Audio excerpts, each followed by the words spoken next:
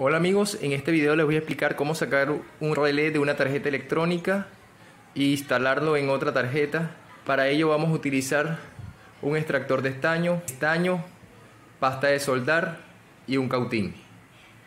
El relé del lado de las pistas va a tener cuatro terminales, 1, 2, 3 y 4. Los debemos calentar y colocar de pasta de soldar y estaño. Coloco un poquito de pasta de soldar a la punta del estaño.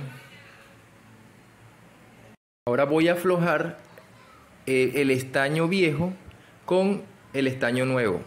Voy a colocar el estaño junto con la pasta de soldar y la punta del cautín en los cuatro terminales.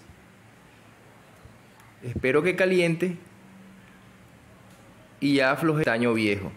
Ahora debo utilizar el extractor de estaño. El extractor de estaño tiene un depósito.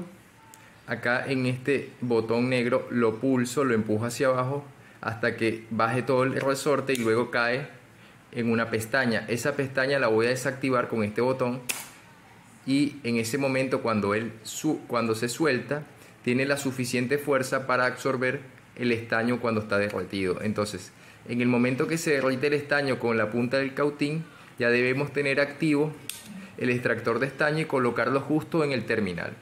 Caliento la soldadura, coloco el extractor de estaño justo sobre el terminal con el estaño derretido y, lo, y pulso el botón. Y como pueden ver, lo quedó el terminal, todo el estaño quedó removido. Lo vamos a hacer con los cuatro terminales. Fíjense cómo ya llevo tres terminales, caliento el estaño, activo, activo el extractor de estaño y lo coloco sobre el estaño fundido. Y ya, así como quedó. Fíjense, ya tenemos prácticamente el relé lo tenemos suelto. También pueden con un destornillador de pala pequeño, después de haber quitado el estaño, empujar un poquito hacia afuera por las esquinas donde están las terminales y de esa forma ya tenemos nuestro relé afuera. Ahora sí lo vamos a soldar en la otra tarjeta. Lo que vamos a hacer es hacer coincidir las puntas. Acá está la bobina de mando y acá está los pines de la línea y, y la señal que va hacia el compresor. Entonces los hago coincidir aquí. Y luego Ahí se puede observar las cuatro, las cuatro puntas del relé que ya atraviesan la placa. Le coloco un poquito de pasta de soldar a la punta del estaño y luego con el, la punta del cautín caliente voy a ir colocando estaño a cada una de las terminales. Vamos a esperar que, que rellene todo el terminal dejamos que caliente un poco, ya ahí está suficientemente caliente, retiro el cautín y espero varios segundos a que se seque el estaño.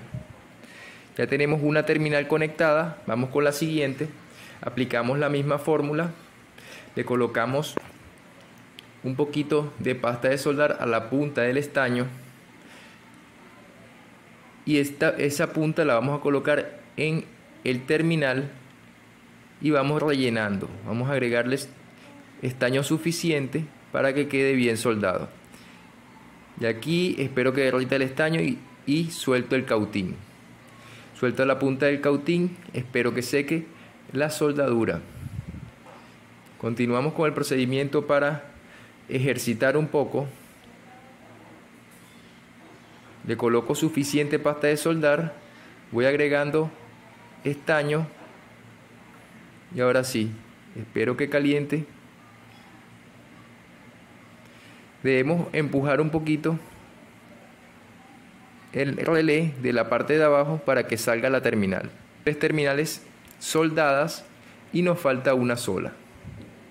Luego de esto vamos a hacer unas pruebas con esta tarjeta para ver si funciona y si está dañada la vamos a reparar en un próximo video.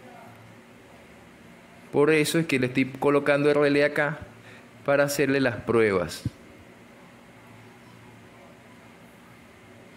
Fíjense que ya tenemos las cuatro terminales soldadas y ahora sí vamos a energizar esta tarjeta para ver si funciona correctamente y si tiene alguna falla la vamos a reparar.